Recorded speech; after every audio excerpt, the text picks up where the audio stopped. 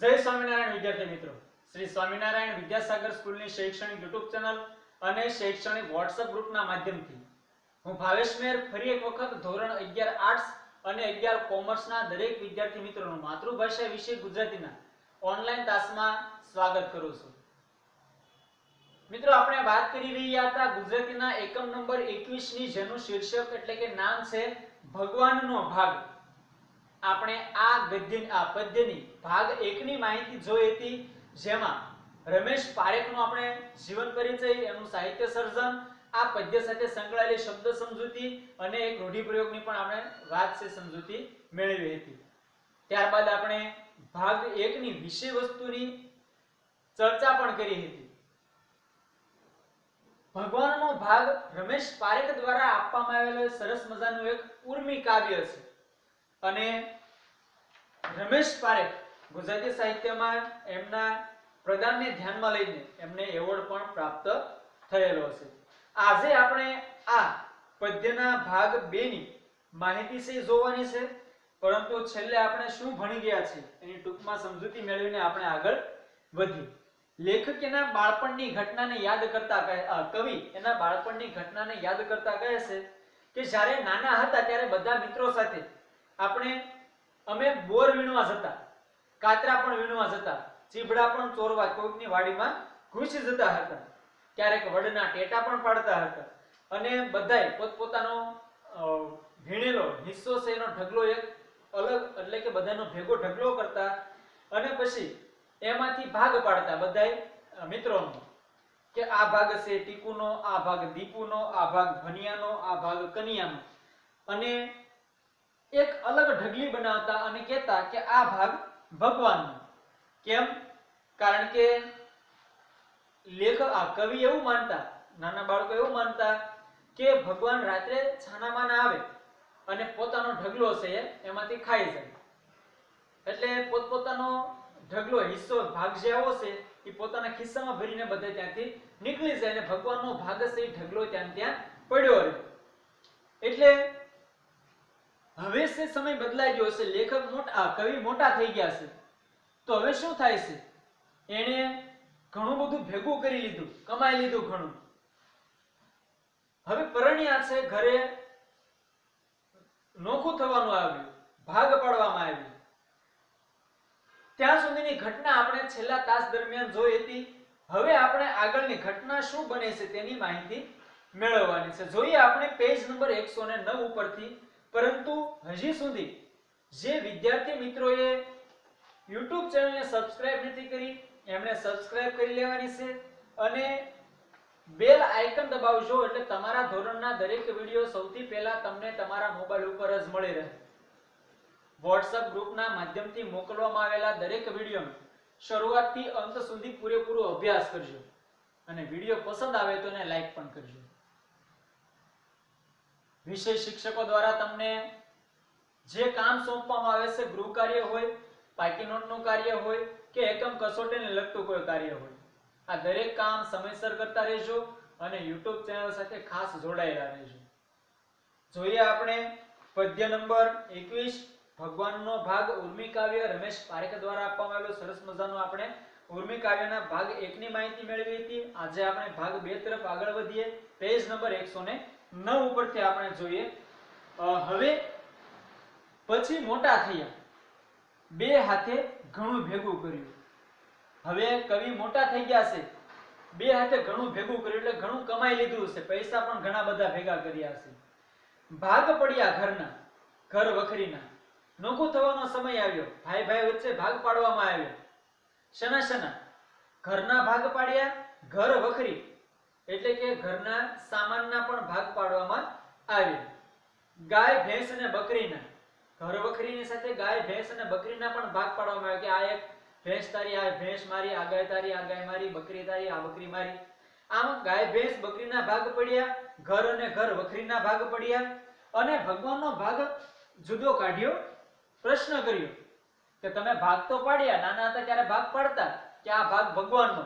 તમે ઘરનો ભાગ પાડ્યો, ઘર વખરીનો ભાગ પાડ્યો, ગાય, ભેંસ બકરીનો ભાગ પાડ્યો, તો ભગવાનનો ભાગ તમે કાઢ્યો જુદો રબીશ ભગવાનનો ભાગ શું કહેશે? શું વાહિયાત ખોટી વાત કરશો? ભગવાનનો કઈ ભાગ પાડવાનો હોય? ભગવાન તે ભગવાન તે વળી કઈ ચીજ છે? ભગવાન વળી શું છે? તેનો ભાગ પાડવાનો હોય? સુખ, ઉમંગ, સપના, સગાઈ, પ્રેમ હાથમાં ઘણું ઘણું આવ્યું.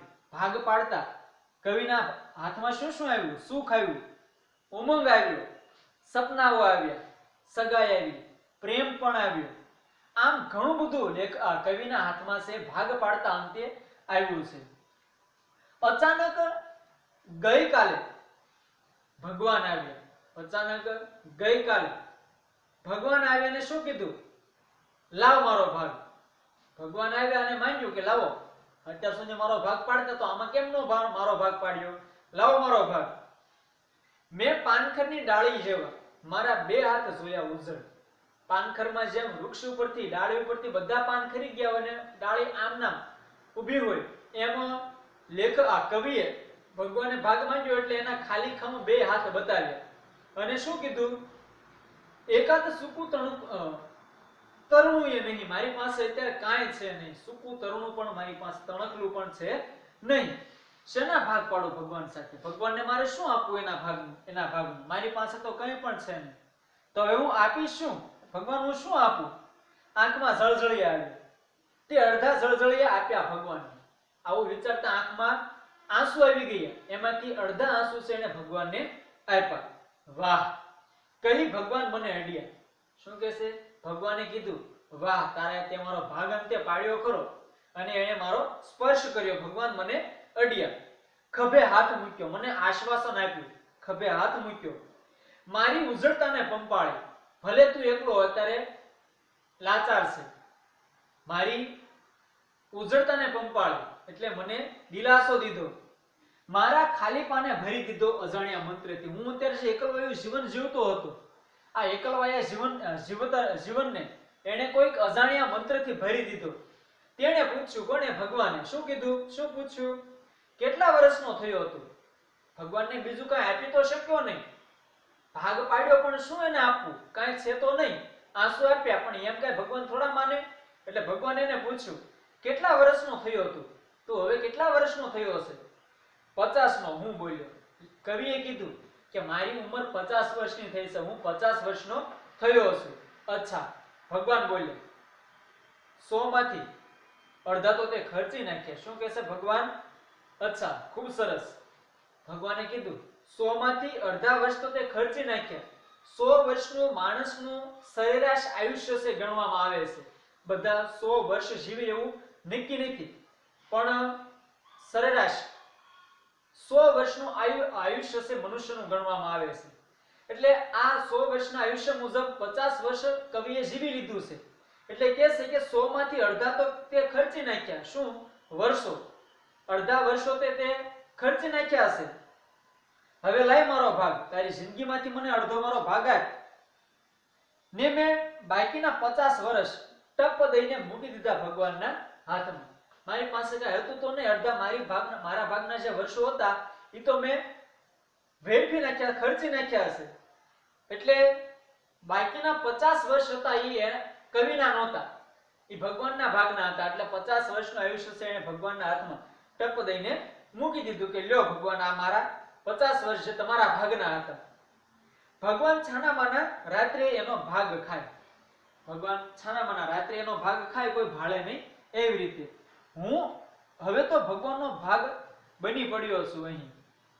જઉં છું રા. હું પણ હવે ભગવાનનો ભાગ બની ગયો છું. કેમ કે મારી જિંદગીના વર્ષો તો મેં પૂરા કરી નાખ્યા. હવે જે કાંઈ આયુષ્ય છે એ ભગવાનનું છે. એટલે રાહ જોઉં છું ભગવાન ક્યારે આવે ને એનો ભાગ માંગે. અર્થાત કે આપણે આમાંથી શું સમજવાનું છે? કે આપણી ઉંમર થાય એટલે આપણે ભગવાનના હિસ્સાના વર્ષ છે એ વર્ષ દરમિયાન ભગવાનની ભક્તિ કરવી જોઈએ. એટલે હવે લેખક રાત રાહ જુએ છે કે ક્યારે રાત પડે? રાત ક્યારે પડે અને ક્યારે આવે છાનામાના ભગવાન? ભગવાન ક્યારે? સંતાતા સંતાતા કોઈને ખબર ન પડે એવી રીતે આવે. ને ક્યારે આરોગ્ય ભાગ બનેલા મને? અને ક્યારે આવે? આરોગવું એટલે ખાવું કે જમવું. અને ક્યારે? એનો ભાગ જે હું છું, મારી જિંદગી છે એ લઈ જાય. ને ક્યારે હું ભગવાનના મોંમાં ઓગળતો ઓગળતો? શું કહેશે? અને ક્યારે? ભગવાનના મુખમાં હું ઓગળતો ઓગળતો હોઉં. આમ પ્રભુ ભક્તિ સાથે અને ભગવાનના ભાગ તરીકે પોતાની જિંદગીના લેખક અડધા કવિ છે, અડધા વર્ષો ભગવાનને આપી દે છે. અને હવે રાહ જોતા બેઠા છે કે ક્યારે ભગવાન આવે અને એનો ભાગ લઈ જાય મારી જિંદગીમાંથી. અને હું એનો ભાગ એના મોંમાં ઓગળતો હોઉં એવું લેખકને લાગે છે. વિદ્યાર્થી મિત્રો, આ સાથે આપણે આ ઉર્મી કાવ્યનો અંત અહીંયા લાવીએ. જોઈએ પહેલા કેટલાક પ્રશ્નો જે પૂછાઈ શકે કે સ્વાધ્યાયમાંથી આપણને આપ્યા શૈશવમાં કવિ મિત્રો સાથે શેનો ભાગ પાડતા? શૈશવ એટલે બાળપણ. બાળપણમાં કવિ એના મિત્રો સાથે આંગળીના કાતરાનો ભાગ પાડતા, ચોરેલા ચીભડાનો ભાગ પાડતા હતા, વડના ટેટાનો પણ ભાગ પાડતા હતા અને ચણી બોર વીણેલા હોય એનો પણ એ ભાગ પાડતા હતા. વધારાની ઢગલી કોના માટે રહેતી? વધારાની ઢગલી ભગવાન માટે રહેતી. ભગવાન પોતાનો ભાગ ખાવા ક્યારે અને કેવી રીતે આવતા? ભગવાન પોતાનો ભાગ ખાવા માટે રાત્રે છાનામાના આવે અને પોતાનો ભાગ ખાઈ જાય. મોટા થયા પછી શાના શાના ભાગ પડ્યા? મોટા થયા પછી ઘરના, ઘર વખરીના, ગાય, ભેંસ અને બકરીના ભાગ પડ્યા. ભગવાનને ભગવાને સપનામાં આવીને શું કહ્યું? ભગવાને સપનામાં આવીને કહ્યું કે લાવ મારો ભાગ. બાળપણમાં કવિ મિત્રો સાથે શું શું કરતા? બાળપણમાં કવિ મિત્રો સાથે બોર વીણવા જતા, કાતરા વીણવા જતા જીવડા ચોરવા જતા અને વડના ટેટા પણ પાડવા જતા. બધા મિત્રો ભેગા થઈને એક ઢગલી કરતા અને એમાંથી બધાના અલગ અલગ ભાગ પાડતા.